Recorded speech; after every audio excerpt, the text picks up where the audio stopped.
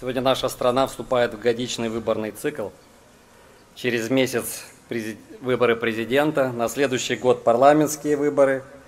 И мы рассматриваем начавшуюся выборную гонку не как спринтерский забег на 100 метров, а как марафонскую дистанцию. Потому что президенту Ренату Усатому нужен парламент, который поддержит задуманные им реформы. И главное из этих реформ, я, наверное, забегаю вперед, и тем не менее, это переход к президентской форме правления. Парламентская республика за более чем 30 лет своего существования показала свою неэффективность в условиях Молдовы. Стране нужен ответственный лидер, и здесь ключевым является слово «ответственность».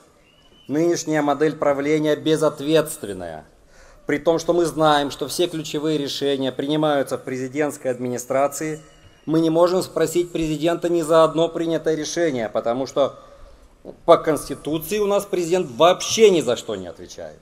Мы хотим честной системы правления, при которой президент, получив народный мандат, будет отвечать перед народом за каждое принятое решение.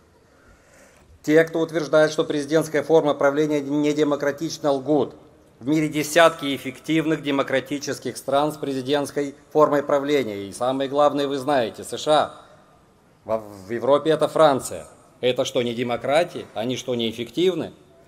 Настало время для перезапуска, перезагрузки нашей политической системы, иначе мы никогда не вырвемся из бесконечного и порочного круга сменяющих друг друга безответственных политиков.